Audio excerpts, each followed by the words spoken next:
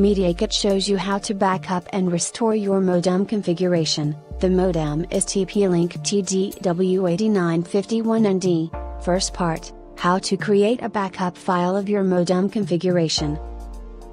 Type the following IP, 192.168.1.1, and press enter key. Type here, username, admin, and default password, admin, use your password, if you have already changed the default password, and click OK.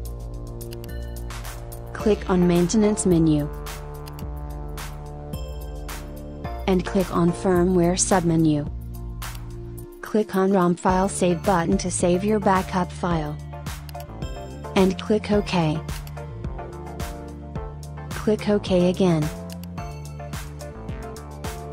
Create a new folder in your desktop, where you want to save your configuration backup file, and rename it.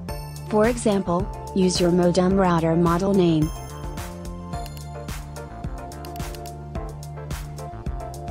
Click on Save to finish. The modem configuration backup file has been saved successfully. If there is a problem you can restore the modem configuration from this backup file. This is what we will do, in the second part. Second part, how to restore a backup file of your modem configuration. Connect to the modem as it showed in the first part. Click on Maintenance menu. And click on Firmware submenu. Click on Browse to select the backup file.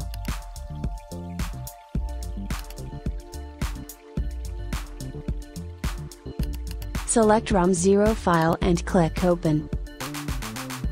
And finally click on the Upgrade button to start the restore. Please be patient, this will take a moment.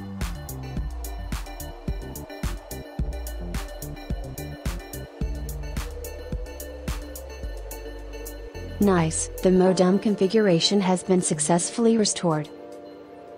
We have come to the end of this Mediaket tutorial. Thanks for following. Do not forget to subscribe to the Mediaket tutorials channel.